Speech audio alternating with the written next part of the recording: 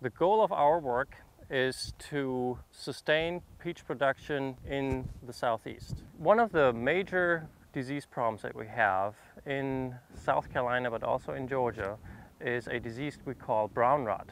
The chemicals that are being used these days to control brown rot uh, are site-specific chemicals. That means they attack the fungus at one particular place. So the fungus has a fairly easy way to produce resistance against those chemicals. So we developed a kit that will enable growers to determine the resistance profile in their respective areas. What we do is we go to the grower site, we collect samples, and within three days, using that kit, we can determine what kind of a resistance profile the grower has in their respective area.